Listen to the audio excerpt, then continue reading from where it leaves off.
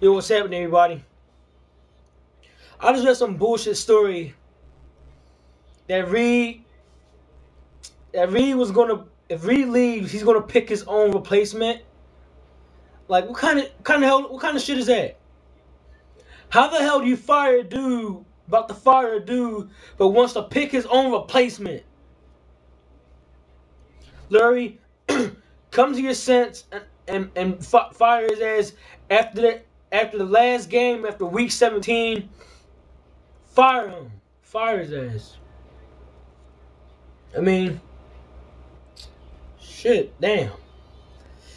Why why pick up why why let a man get a um make a replace have a, his own replacement when that dude when he's probably gonna pick somebody just like him. Andy Reid, Andy arrogant Reid is probably gonna pick somebody else arrogant to not listen to other fans do what they want. Keep running the ball, run the ball, run the ball, and, and when they want people to pass, and they keep passing, passing, passing when they want them to run it. We don't need no more lopsided coaches. We need somebody that's going to help us win. In another article I read, I read article coaches. Once the coach win a Super Bowl with one team, they're not going to win a Super Bowl with the other team. Next team, team they're next. So no, no Jon Gruden, no Bill Cowher, neither one of those dudes. Someone I like to see at the helm is Chip Kelly or I know this guy's not proven, but he seems like a good quali- quali- qualified coach. Um, Herm Edwards. Actually, no, no, no, no, Herm Edwards. That guy looks too laid back in the first place. He looks too laid back. Or maybe that's just, or maybe, or maybe that's just his TV personality on ESPN. But I don't know. There has been times I've seen um I seen them have a um, conference, and was a put your name on it. That conference, you know. But um, yeah. But Jeffrey Lurie, do yourself a favor. Fire Andy Reid. Don't let him pick nothing. Let him do nothing. There's no point. This game Sunday, it means nothing. I don't care who wins. I got the Eagles winning it. I predict them to win it, but don't mean I don't want to win. I just predict them to win it.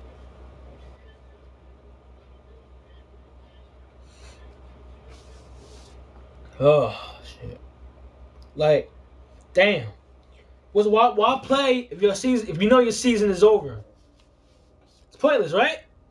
Exactly. It's pointless. Two, three, and sixteen. Both that we're both down with the Bills and some other losers. Might as well see what we got in Foles. Hell, if we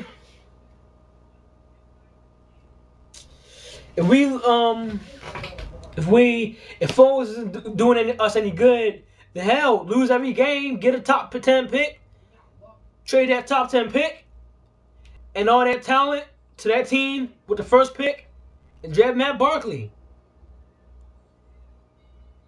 If you know what, next chew on that keep say where you at when you lost and cut them dudes and um just the best lineman in that damn draft. I mean, it makes no sense for nobody get touched as much as Vick does. No sense at all. When you see Brady and Peyton in the pocket, they have like three seconds and they get the ball off quick. Vick holds the ball too long, and I don't blame him because he want to think. But you see, when you see Brady or or Payne play, they get that ball out of either two or three seconds. That O line doesn't have to try to hold up for six seconds and then Vick get hit, and everybody want to blame him on the O line. Let me show you, tell you something about Vick. Well, no, actually Foles. When Foles got in there, he made that O line look good. I mean, he got he got hit, but not as much as Vick does. But he made it all look kind of good. Not the now we got one of the worst O lines in the league, but Foles may look good. He he played pretty good that game, other than the turnovers. So this Sunday, Foles going to get a start. We're going to see how he plays for a full game. Put no more Vick.